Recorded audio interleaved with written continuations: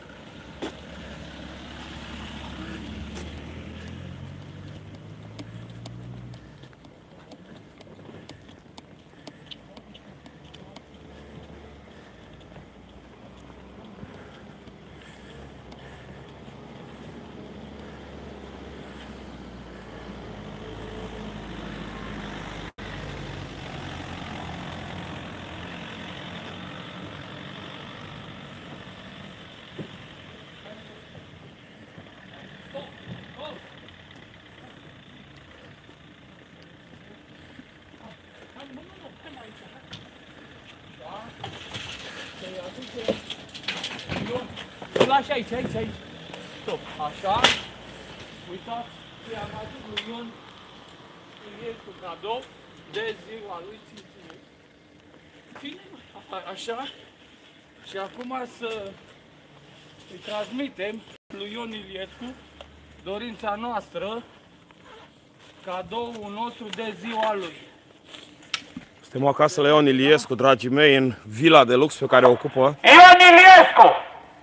Tovarășul criminal Ion Iliescu! Astăzi, de ziua ta, ți-am adus un cadou, un pat de pușcărie, în care noi românii am dorit să-ți petreci ultimii ani din viața ta. Criminalul Ion Iliescu! Ți-am mai adus cadou o pereche de cătușe, cadoul multor români, deoarece ești criminalul țării și mai ales că ești, ești acuzat pentru crime împotriva umanității. Tu ar trebui să-ți petreci ultimii ani din viață în acest pat. Un pat de pușcărie în care a murit și Vișinescu și Ficior. Acum a venit rândul tău. Poftim! Tu ești criminalul acestei țări. Tu ar trebui să-ți petreci ultimii ani la pușcărie.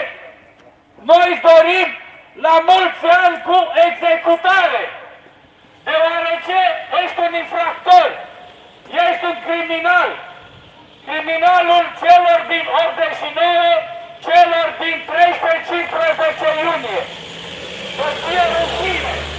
Nu meriți să stai în această vilă și locul tău în acest pat de pușcărie. Aici ar trebui tu să-ți petreci ultimii ani, la mulți ani cu executare, din partea lui Doru Mărieș, din partea mea și a multor români.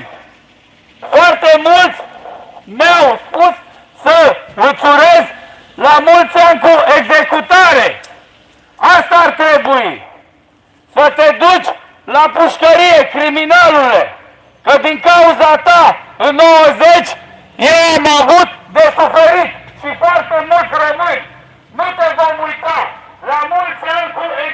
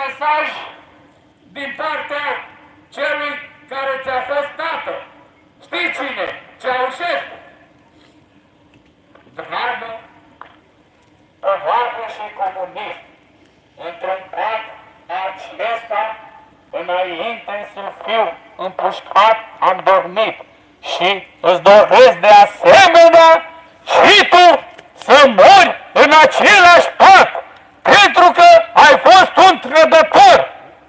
Criminalule, ți-am adus o carte, cât o să stau la pușcărie, o să ai timp ca să scrii cartea comunistului. Dar totuși nu vei fi eliberat. Ne dorim să ajungi cât mai repede în pușcărie pentru crimele odioase pe care le-ai făcut în 89, în 90. Tu ai fost acela care a început distrugerea țării, vânzarea industriei.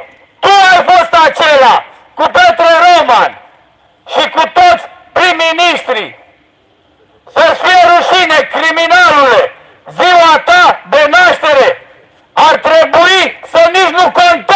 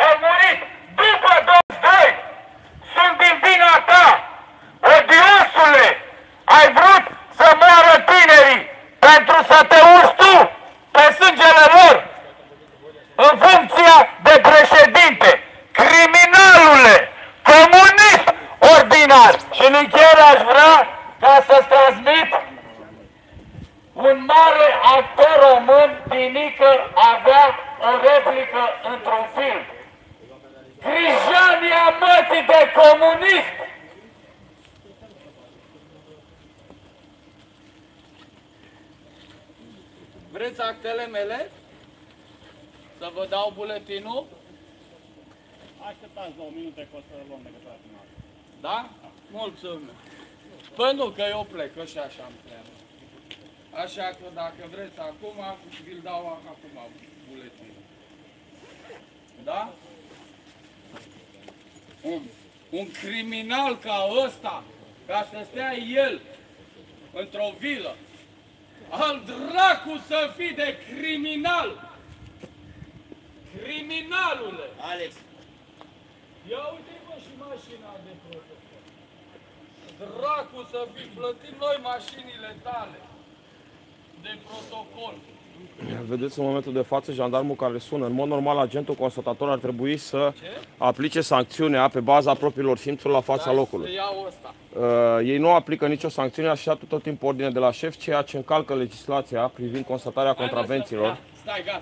Uh, ceea ce arată că jandarmeria face poliție politică. Pentru că, în mod normal, dacă s-a comis o contravenție, ei trebuiau să aplice amenda. Criminalule, Uh, fără să sune vreun șef de la unitate. împotriva ta. Asta se întâmplă tot timpul, oameni buni, la fiecare acțiune. Te văd la pușcărie. Agenții nu aplică sancțiuni conform celor ce constate ei cu propriile simțuri. și dau telefoane la șef și fac ce le spun șefii. Am stat Da, patru vedeți luni aici? jumate arestat. Agentul Pentru constatator că ar fi tu trebuit el să rămâi președinte. ia măsuri. Stimate domnul, Sumaior Călim de la Brigada Specială. Da, da, mi-a Vreau să arătat și prezentați- eu le estimație Sigur că da. că nu Sigur aveți că da. gradele. Că Sigur că pe da, nicio problemă. hainele acestea văd că Și domnul nu- Mălimbot uh, era o chestie din interiorul serviciului. Nu, nu, nu, nu Realizarea era, acestor nu lucruri, era. nu vorbeam cu E pe nicio înregistrare când ați Da, spus că e vă rog, Mălim Boș și vă rog. Ceaușescu aici. Nu era nimic în interesul serviciului. la serviciului. dispecerat Nu, situația. dumneavoastră trebuia să veniți și să constatați Veniți până la mașină. la să fața vă- locului. aici, Nu, stau vă rog. aici. Vă rog eu, stau aici, da? Deci vă rog. Îmi aduceți actele. Nu, nu, nu, nu, stau aici, nu e o Să problemă. nu fie o problemă, deci nu vreau decât buletinul. Așa, că poate stau aveți aici, altceva dumneavoastră, da, am aici ceva, da, că aș vrea În momentul de ca față- să-i mai urez acestui criminal. Nu vă supărați, din cauza lui eu am acest defect în vorbire, da? Nu-l iert, nu-l iert niciodată. Da? Așa? Observați jandarm fără niciun element de identificare cu masca pusă pe față. Deci dacă comite un abuz împotriva lui Marian Ceaușescu nu poate fi identificat în niciun fel. N-are un număr pe el, Vom, o serie, nimic. vom pleca Da. pentru că eu am, am așa spus, la Vedeți? N-are niciun element de identificare am pe să el. vin la 8 Am înțeles. ca să-i stric ziua lui de naștere, Arzălar, Catranu și Buba Neagră, da? Deci, faceți-vă treaba, vă mulțumesc, da? De Dar ce vă eu ascundeți nu pot fața? să-l iert pe acest criminal. De ce vă ascundeți fața? Sunteți răcit? Păi și ce căutați la muncă dacă sunteți răcit? De ce nu mergeți la medic? Stați în concediu medical. Că vă dă dreptul. Aveți dreptul. De ce vă ascundeți fața? Vreți să faceți ceva ilegal? Vreți să comiteți un abuz? De ce sunteți mascat? Da. Ați văzut, dragii mei, Ați văzut, dragii mei, uh, suntem la reședința lui Ion Iliescu, o super vilă de lux din cea mai selectă zona capitalei, Da? Și unde vreau Ion să vă Iliescu, arăt pe că banii sunt noștri, stă foarte mulți bine. Mi-au, uh, scris, uitați, astea sunt Marian își face live-ul, eu vreau să vă scot în evidență două aspecte. pentru Iliescu. Primul ține de persoana lui Ion Iliescu și de faptul că cel mai mare criminal din istoria recentă a României nu este încă judecat. Da? În mod normal ar fi trebuit să fie la pușcărie acest individ. Nu este încă judecat, oameni buni. Ne-a distrus, uh, ne-a distrus uh, startul în democrație. Ne-a distrus... Stați așa, stați așa, că a ieșit cineva din interior. Stați așa. Iliescu aici stă. nu contează. Nu contează. Locuiți la domnul Iliescu în casă? Nu, nu, nu locuiesc, e casa mea. Unde? Iliescu Asta e casa aici noastră? stă. Cum e casa Am, noastră? uh, Păi asta e lasă-mă, casă că rea Iliescu PPS. aici. Sunteți Nu e statul adevărat. român cumva?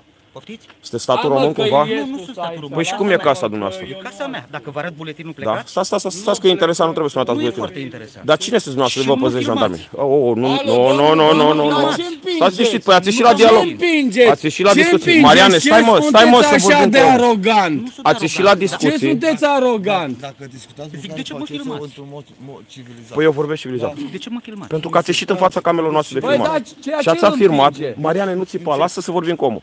Ați afirmat că aici locuiți dumneavoastră. În această reședință pozită Nu de e reședință. Serviciu de Pază și Nu e Protecție, reședință. Jandarmerie. Nu e reședință. Ce este? E pază militarizată aici, da? De ce vă păzește pe dumneavoastră? Cine sunteți Nu mă dumneavoastră de vă păzește SPP-ul Jandarmeria?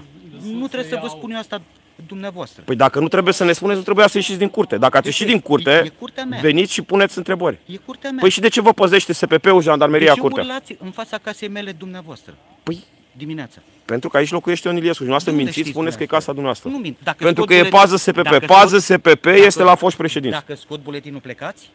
Irelevant că Cu scoateți adresa buletinul. Nu trebuie Nu, să-mi nu, dați mie buletinul, dați Nu, la nu, autorități. Nu, ca să vă demonstrez că e casa Ce mea. să-mi demonstrați? Că e casa mea. Cum e casa noastră? Explicați de ce vă păzește SPP-ul Dar nu jandarmeria. vă păzește și de ce Păi v-aș cum nu vă explica păzește? dumneavoastră? Pentru că susțineți că e casa dumneavoastră. Dacă, dacă, SPP-ul nu păzește decât obiective speciale. Și care e problema dumneavoastră în cazul ăsta? Păi, vedeți? Aici locuiește Ion Iliescu, nu veniți cu copilării de astea la noi. Deci dacă că e scot casa bulet- dumneavoastră dacă scot poveste. buletinul Lăsați cu adresa buletinul, mea, că nu știu, plecați? nu știu ce, în ce, cine sunteți dumneavoastră aici, în ce calitate v-ați uh, înregistrat pe această adresă. Și dumneavoastră Lăsați în ce calitate prostile. urlați pe stradă aici? În calitate de Dimineața. cetățeni.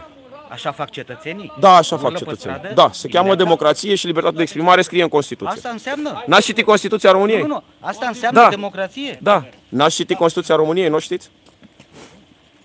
Domnul Marian? Articolul 1. Uh, știți? Aia ce spune în articolul 1 aliniatul 3? Știați? Știați articolul 1 Păi dumneavoastră ați ieșit să stați de vorbă. Idealurilor Am ieșit să vă Revoluției întreb din de anul ce urlați în 89. fața casei Dar nu e Acum- casa dumneavoastră, nu mai mințiți. Sunteți N-are cum să fie casa dumneavoastră. Aveți, sunteți un privat care are contract cu SPP-ul. Nu vă dați seama ce prostii Am vorbiți. vrut să vă demonstrez Ce că- să-mi demonstrați? Că aveți o adresă registrată în buletin. Ce Aveți să un vă spun? telefon care Aici filmează există două familii, unul care stă Iliescu, Stimate domnule, am discutat Ostul ceva. Da, vă cretin. mulțumesc. Iliescu cel care a fost șeful SPP-ului, ai fi rudă cu el, da? Du-te bă de aici. Criminalule, revenim, criminalule. Nu te iert, nu te las în pace, criminal. Mariane, stai un pic. Ce măsură s-a luat împotriva ta? S-a luat vreo măsură? Avertisment, ia uite, da. Avertisment, serios? SPP-ul, știu. Stați așa, stați Nu, așa. lăsăm aici să le ia el.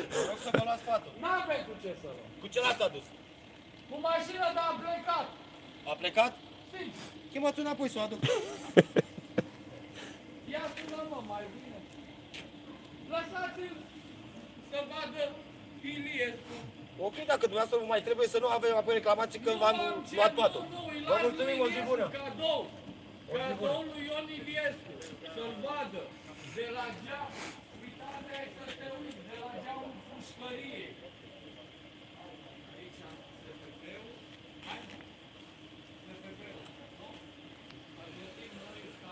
Da, oameni buni, vă spuneam înainte să ne întrerupă acest domn care în mod pueril a ieșit dintr-o reședință pozită de serviciu de pază și protecție și jandarmerie și poliție, ia uitați, a venit și poliția, să ne zică că el locuiește aici de fapt. Dar nu vrea să ne zică cine este. E vreun fost președinte, e vreun fost ministru. Nu vrea să ne spună, uh, ca să vă dați seama cu ce oameni de speță joasă avem de-a face.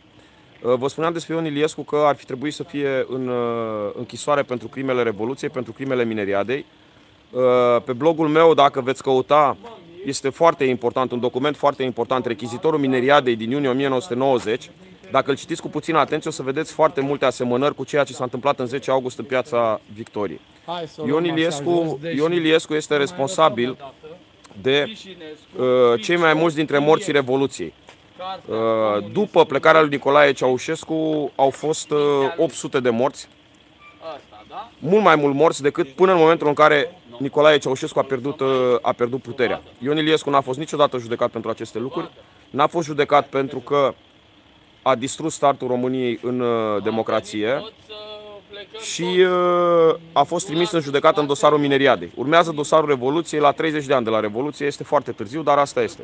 Marian Ceaușescu, victimă a mineriadelor, uh, revoluționar, uh, pe bună dreptate este revoltat. Vă dați seama ce s-a întâmplat și cu noi, victimele din 10 august, dacă am stat 30 de ani ca să aflăm uh, vinovații.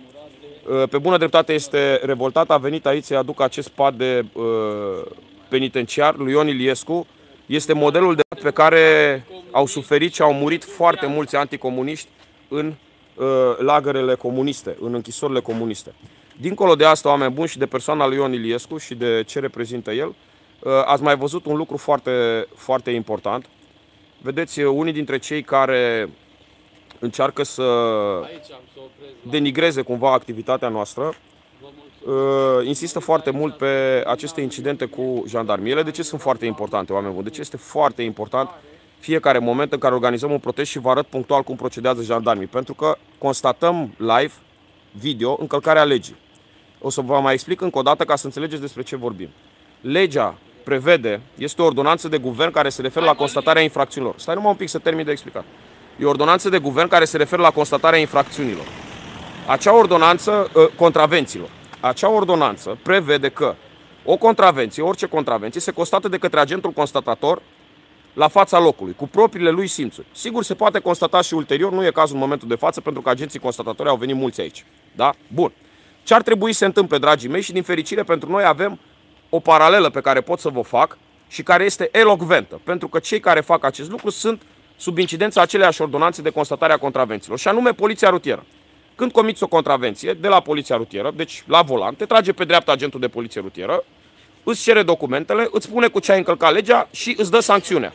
Nu sună la șeful biroului de poliție rutieră să-i zică l-am oprit pe domnul Mălimbot, ce facem cu el? Îl luăm pe sus, îl abuzăm, îi rupem hainele de pe el, îi dăm avertisment. Înțelegeți? Aici ați văzut live, în direct, cum au venit jandarmii, în loc să constate, fără niciun fel de telefoane, fără niciun fel de alte lucruri, să constate, domnul Marian Ceaușescu, vă rog prezentați actele, ați comis contravenție, la revedere, telefon, raport la unde trebuie ei să raporteze. Ei au dat telefoane. Înțelegeți? Ce înseamnă asta? Asta înseamnă și este un mod de operare pe care îl vedeți constant în toate materialele mele uh, legate de acțiunile pe care noi, noi le facem și reacția jandarmeriei. Tot timpul este așa, oameni buni. Tot timpul. Ce înseamnă asta? Asta este dovada clară că acești oameni nu acționează în baza legii, pentru că dacă ar acționa în baza legii, n-ar avea nevoie să dea telefoane la superior. Ar ști care este legea, ar constata fapta, ar aplica contravenția este dovada că ei acționează numai și numai la ordini. Ei fac ce le spun superiorii.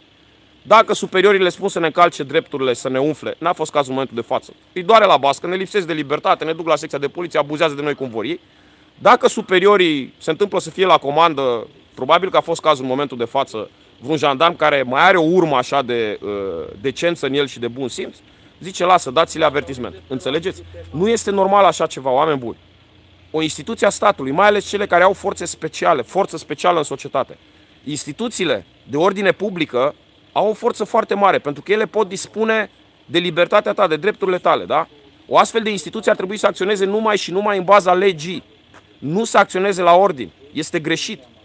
Încalcă și legea jandarmeriei care spune că jandarmeria uh, apără drepturile și libertățile cetățenilor, nu? Și aplică, aplică legea de ordine publică. Este o demonstrație foarte, foarte clară, dragii mei, uh, făcută aici încă o dată la fața locului. De ce insist pe aceste lucruri și vreau să le explic? Pentru a arăta că toate discuțiile pe care eu insist în materiale live pe care le fac cu forțele de ordine, cu jandarmeria în special, că cu ei avem probleme, uh, urmăresc să demonstreze în mod clar și concret faptul că instituțiile statului Acum lasă-le, că e treaba lor să pozească obiectivul. E SPP-ul. Că instituțiile statului nu acționează conform legii. Mașinile și ofițerii sunt de la SPP. Uh, este clar că nu poate să fie acea persoană, l-ați văzut, este un necunoscut, eu habar n-am cine e acel individ. Nu e vreo persoană publică, nu e fost prim-ministru, nu e fost președinte, n-are de ce să locuiască într-o casă pozită de serviciu de pază și protecție. Nu există așa ceva. Înțelegeți? Despre asta este vorba, dragii mei, așadar i-am spus lui Ion Iliescu la mulți ani, astăzi de ziua lui, sperăm că a fost acasă și ne-a auzit, nu știu unde ar fi putut să fie plecat în altă parte, între timp mai vin forțe de poliție, de jandarmerie, poate vin să ia patul. Da? Vedeți echipajul Brigada Specială a Jandarmeriei și două mașini de la secția de poliție.